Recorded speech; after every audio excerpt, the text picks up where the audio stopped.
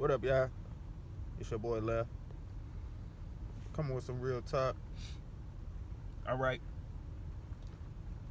To my fellas, to my ladies out there that's not in a relationship, but you looking to get in a relationship.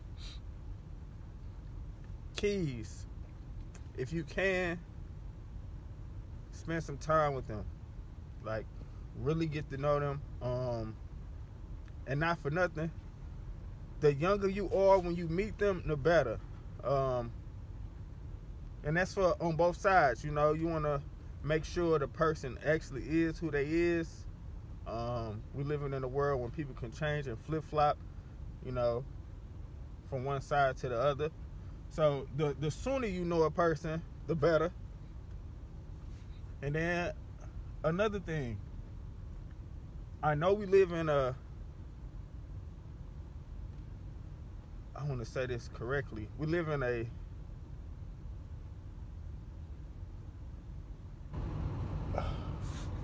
we living in a world where everything is sped up. So what I'm about to say might really sound foreign.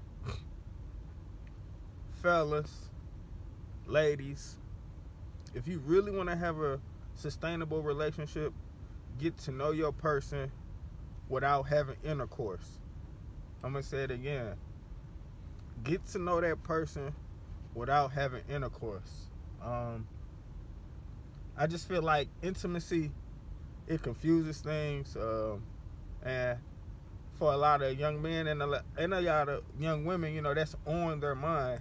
And once you do that, I feel like a lot of the time that's usually what's on your mind.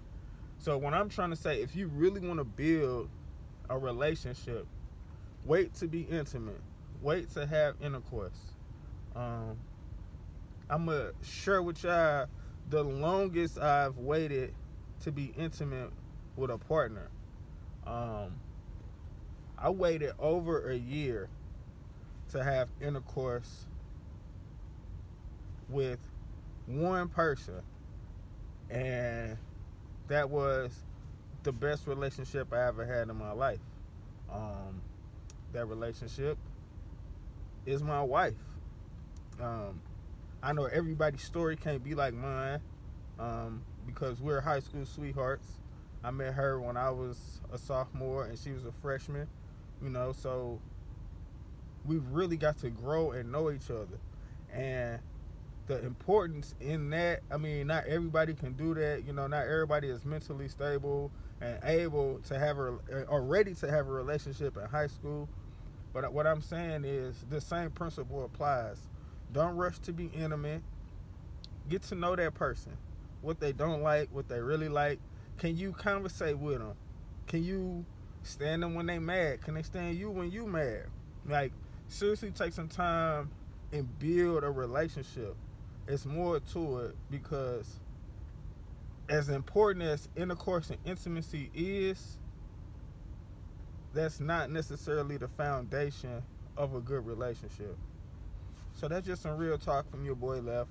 I'm just sharing my perspective, um, and I just want to help, man. But uh, stay up. Salute.